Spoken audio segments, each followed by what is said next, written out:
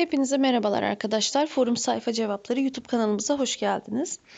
Bugün sizlerle 6. sınıf Fen Bilimleri kitabı sayfa 115 ve 116'yı işleyeceğiz. Konumuz öğrendiklerimizi gözden geçirelim. Aşağıda maddenin 3 haline ait tanecik modelleri verilmiştir.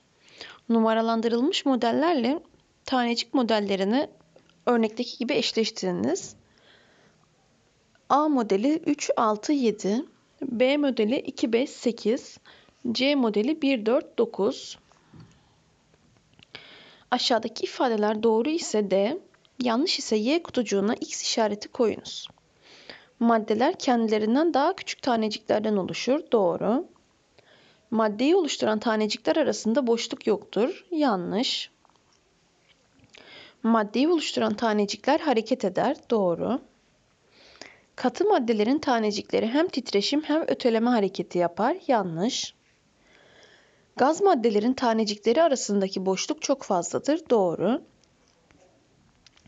Aşağıdaki cümlelerde verilen boşlukları cümlenin anlamına göre artar veya azalır ifadelerinden uygun alanın örnekteki gibi yazınız. Eriyen maddenin tanecikler arasındaki boşluk artar.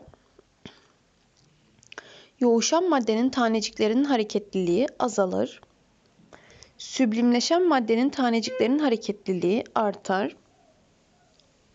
Donan maddenin tanecikleri arasındaki boşluk azalır. Kıralaşan maddenin taneciklerinin hareketliliği azalır. Buharlaşan maddenin tanecikleri arasındaki boşluk artar. Aşağıda verilen üçlü sözcük gruplarından örnekteki gibi anlamlı cümleler oluşturunuz.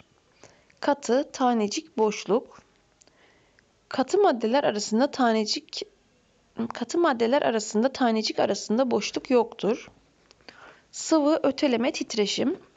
Sıvı maddeleri oluşturan tanecikler öteleme hareketi yapar. Gaz, boşluk, tanecik. Gaz maddeleri oluşturan tanecikler arasındaki boşluk en fazladır. Madde, tanecik küçük. Maddeler kendilerinden daha küçük taneciklerden meydana gelir. Gaz sıkıştırma, deodorant. Deodorantlar gazların sıkıştırılma özelliklerinden yararlanılarak yapılmıştır. Konumuz bu kadar arkadaşlar. Aklınıza takılan sorular varsa yorum kısmından yazabilirsiniz.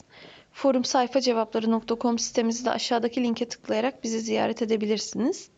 Abone olmayı ve beğenmeyi unutmayalım arkadaşlar. Hepinize iyi günler.